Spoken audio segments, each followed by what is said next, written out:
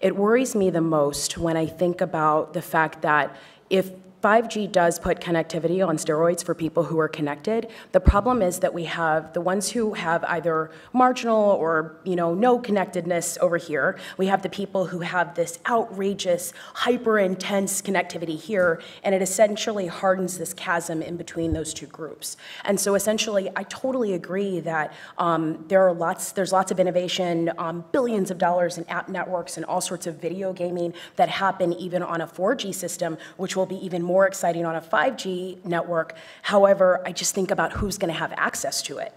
And I think that very often, um, something that Sanjay said when I appreciate Sanjay's background on how difficult it is to essentially bring fiber wireline into somebody's neighborhood. And then you have to make sure that they have the right um, technicians or the right know how to be able to maintain those networks. And I think that it's, it's difficult and it's important to be able to bring that to light.